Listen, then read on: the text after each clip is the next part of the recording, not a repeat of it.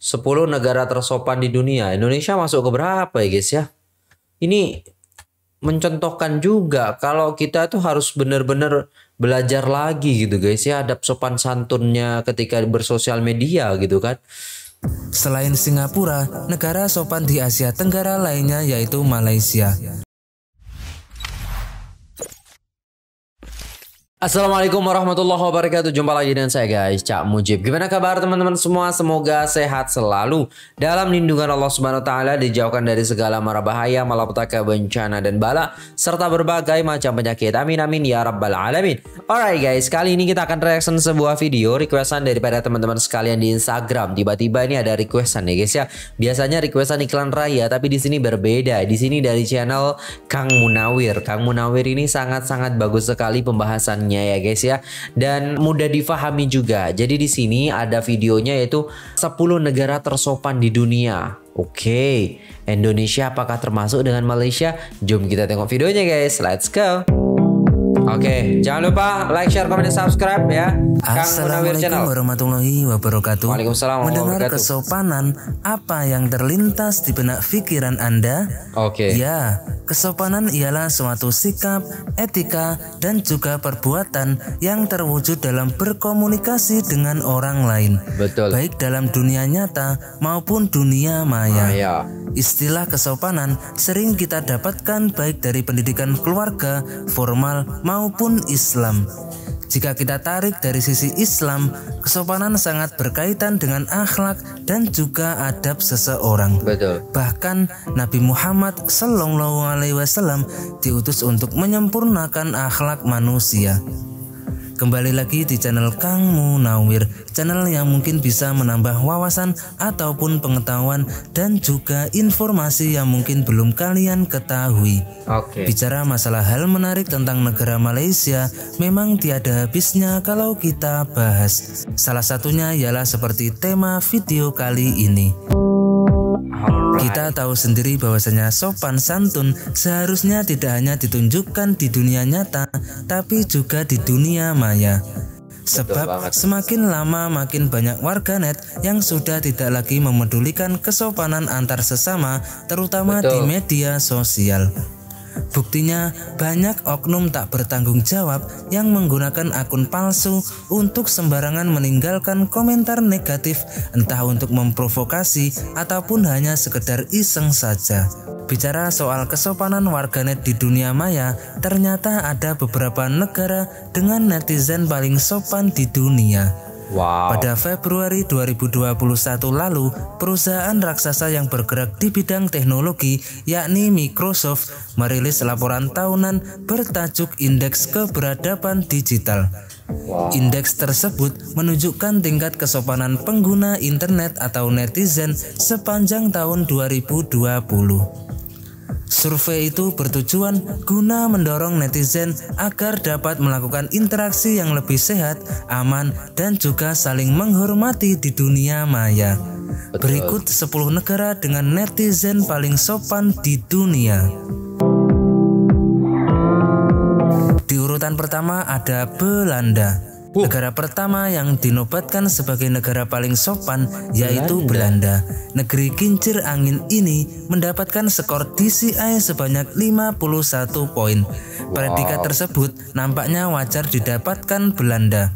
Pasalnya ekosistem internet di negara ini memang sudah sangat baik. Melansir dari berbagai sumber, disebutkan bahwasanya masyarakat Belanda sudah terbiasa dengan akses internet yang sangat memadai.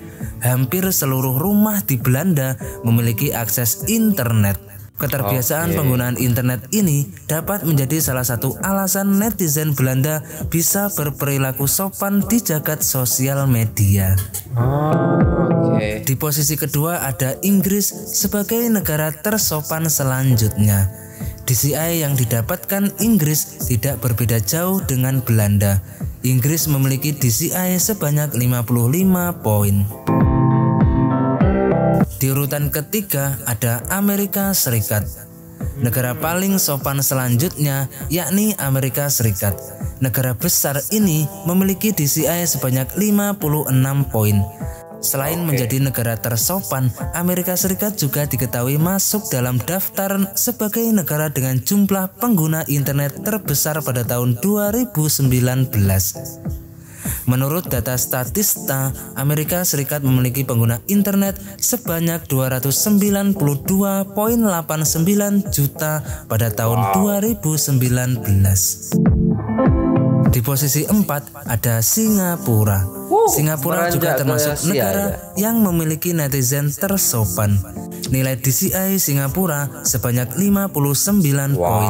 Hal ini menjadikan negara Singapura sebagai negara paling sopan di Asia Tenggara, jauh meninggalkan negara-negara Asia Tenggara lainnya. Di posisi 5 ada Taiwan. Oh, Taiwan. Taiwan adalah negara di Asia Timur yang berbatasan langsung dengan Laut Cina Timur pada bagian utara. Baru tahu Laut Taiwan. Filipina di bagian timur, Laut Cina Selatan di bagian selatan, dan juga Selat Taiwan di bagian barat. Negara ini ternyata masuk dalam urutan negara paling sopan dengan nilai DCI sebanyak 61 poin. Di urutan keenam ada Jerman, negara Eropa lainnya yang juga memiliki netizen paling sopan yaitu Jerman. Negara ini memiliki nilai DCI sebanyak 62 poin. Tak hanya sopan, Jerman juga dinobatkan sebagai salah satu negara dengan unggahan tercepat di dunia Wow. pada akhir Maret 2021. Gitu ya. Enak banget Di urutan ketujuh ada Australia. Australia. Australia juga termasuk negara paling sopan di dunia. Negara ini mempunyai nilai DCI sama dengan Jerman yakni 62 poin. Ah, Oke. Tak hanya itu, Australia juga dinobatkan sebagai salah satu negara dengan kecepatan internet tercepat di dunia. Pada Juni 2021, kecepatan internet di Australia mencapai 127.14 Mbps. Di Asli posisi cepet banget. 8 ada Belgia. Oh, Belgia. Selain Australia, Belgia juga termasuk negara tersopan di dunia. Microsoft menyebutkan nilai DCI negara ini sebesar 62 poin. Sementara itu, Belgia juga termasuk negara dengan kecepatan internet tertinggi pada tahun 2018 dengan kecepatan 45.16 Mbps. Ah, oke. Di urutan ke-9 ada Kanada. Negara sopan dunia lainnya yaitu Kanada. Negara ini Sebentar guys, ini udah 9 ya. Kenapa nggak ada Indonesia? memiliki nilai DCI sama seperti Jerman, Australia, dan juga Belgia, yaitu sebesar 62 poin. Penggunaan internet dalam kehidupan masyarakat Kanada nampaknya sudah cukup masif. Bahkan pada tahun 2016 lalu, negara Kanada juga termasuk sebagai negara yang paling gemar berselancar di internet. Oke. Di urutan ke-10 ada Malaysia. Lah. Kok bisa gitu? Iya mungkin ya guys ya ini pelajaran penting juga bagi kita ini data dari Microsoft ya guys ya. Oh my god. Jadi yang diunggah itu 10 negara tersopan di dunia. Indonesia masuk ke berapa ya guys ya? Ini mencontohkan juga kalau kita tuh harus benar-benar belajar lagi gitu guys ya adab sopan santunnya ketika bersosial media gitu kan. Selain Singapura, negara sopan di Asia Tenggara lainnya yaitu Malaysia. Negara yang sering dijuluki sebagai negeri jiran, harimau Malaya, dan surganya makanan ini memiliki skor DCI sebesar 63, 63 poin poin. dan menjadi negara ke-10 yang memiliki netizen tersopan di dunia. Ini harus harus tahu guys ya. Nanti kita Nah, cari lagi itu datanya. tadi 10 negara dengan netizen paling sopan di dunia. Indonesia masuk ke Dari berapa sini gitu? kita bisa belajar bahwasanya nilai kesopanan itu sangat berarti dan juga sangat penting bagi Betul. suatu negara. Saya kira cukup sekian dulu video singkat kali ini dan saya juga minta maaf jikalau ada statement ataupun pernyataan saya ini ada kesilapan ataupun kekeliruan. Oke. Itu semua tiada unsur kesengajaan tapi itu semua murni karena kekurang pengetahuan saya tentang hal ini. Akhirul kalam wassalamualaikum warahmatullahi wabarakatuh. Waalaikumsalam Kita jumpa di video selanjutnya ya. Bye bye.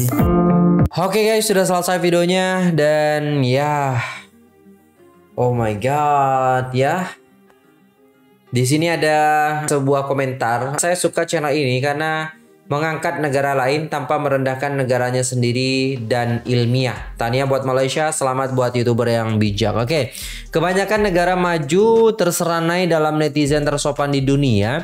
Ini semua disebabkan pendidikan yang berkesan. Oke. Syabas Malaysia tergolong dalam negara-negara yang mempunyai ketamadunan yang tinggi setaraf dengan negara maju. Sama kayak negara-negara maju lainnya ya, Belanda, terus juga Jerman, Belgia dan lain sebagainya. Berarti dia masuknya ke situ guys ya.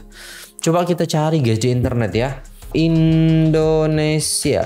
Oke, di sini guys ada kata data di sini ya. Ada 10 negara paling tidak sopan. Indonesia salah satunya. Ini berita dari Indonesia juga ya.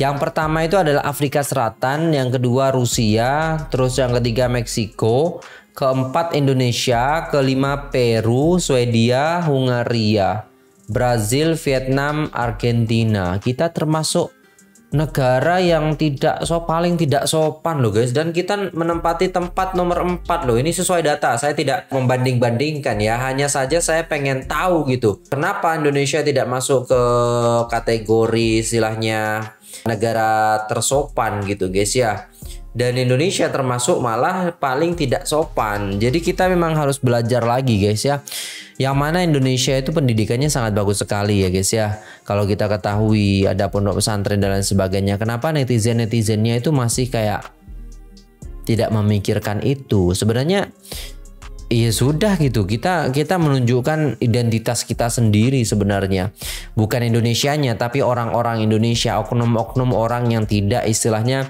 mengutamakan adab sopan santun ataupun etika dalam bersosial media. Ini kita memang harus agak-agak belajar lagi. Dan memang selama saya nge-YouTube gitu guys ya komen-komen yang tidak baik itu pasti datang dari Indonesia juga. Ada juga sebagian dari Malaysia ataupun negara-negara lain tapi kebanyakan dari Indonesia itu komentarnya itu agak-agak provokator dan lain sebagainya. Bukan bukan menjelek-jelekan ya. Komentar dari orang-orang Indonesia bukan bukan eh, bukan negara Indonesianya bukan. Saya tidak menjelekkan negara saya karena negara saya mendidik saya agar supaya menjadi orang yang baik ya.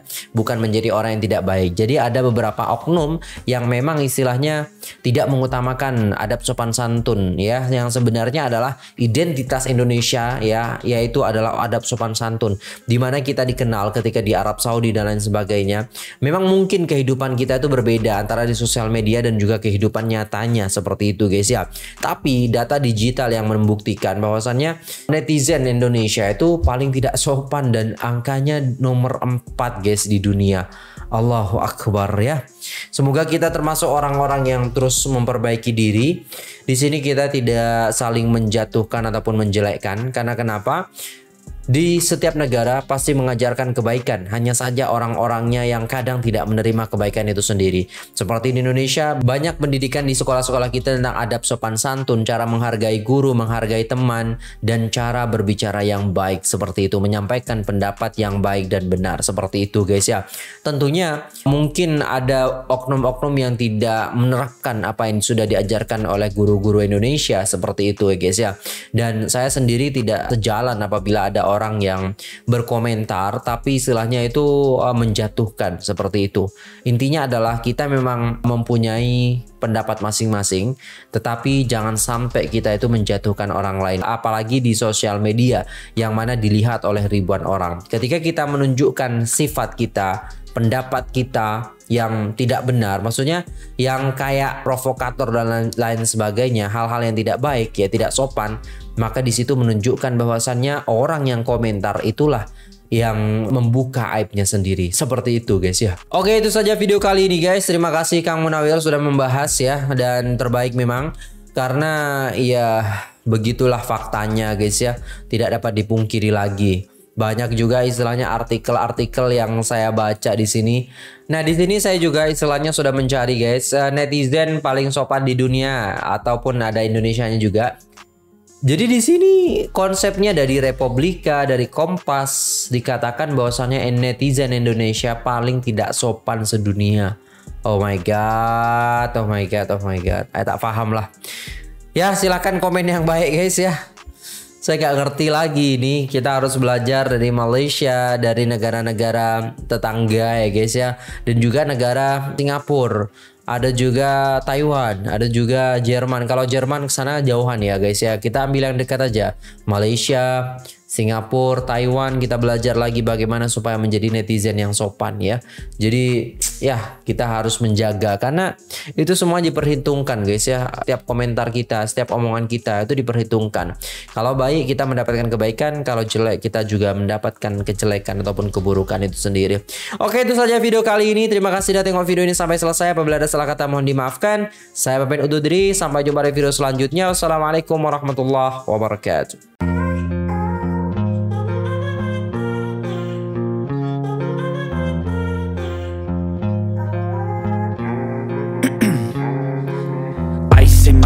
I've been driving this train Years in this lane There's no stopping this flame Cause I came to the game And I changed it to play How I like rearrange